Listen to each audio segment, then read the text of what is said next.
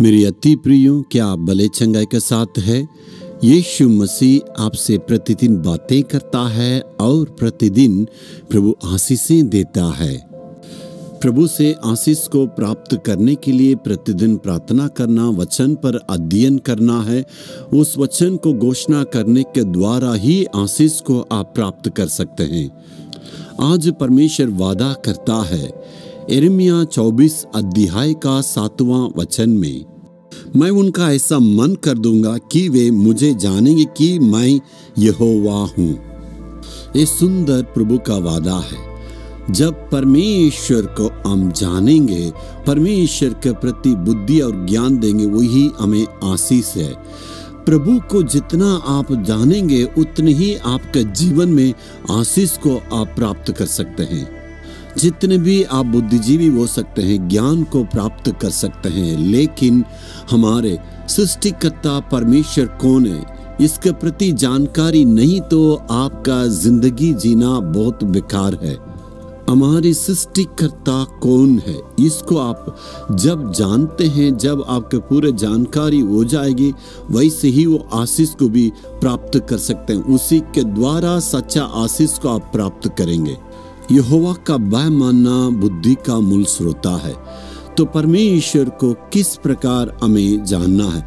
जब मैं लड़का के रूप में था, मेरे परिवार वालों ने बहुत सारे भगवान के बारे में मुझे परिचय कराया।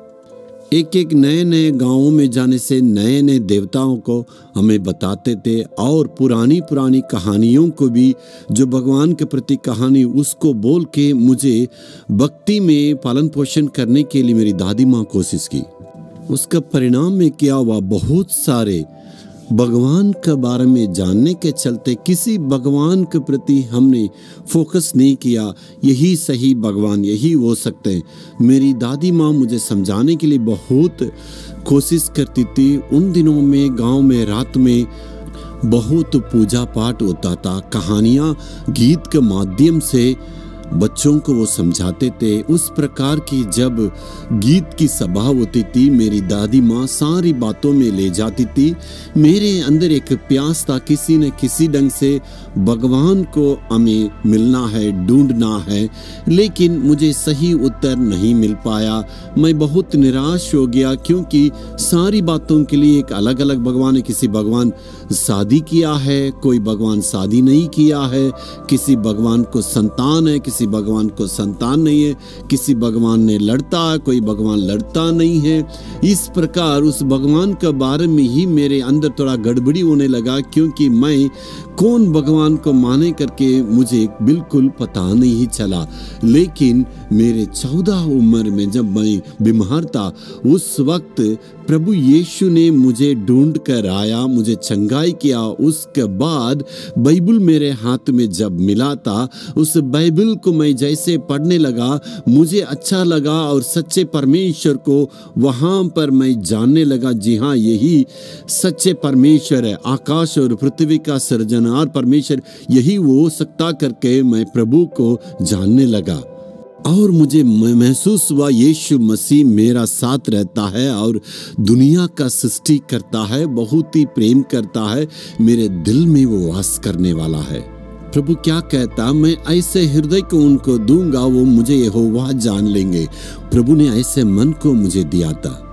परमेश्वर को सही तरीके से पहचानने के लिए परमेश्वर ने मुझे अनुग्रह को दिया। मैं परमेश्वर को बिल्कुल धन्यवाद देता हूँ। दुनिया में बहुत से आशीषों को मैंने प्राप्त की। सबसे बड़े आशीष के रूप में ये महसूस करता हूँ, मैंने परमेश्वर को, सृष्टिकर्ता को जान लिया है। यही मेरे जीवन की सबसे बड़े आशीष के रूप में महसूस करता हूँ।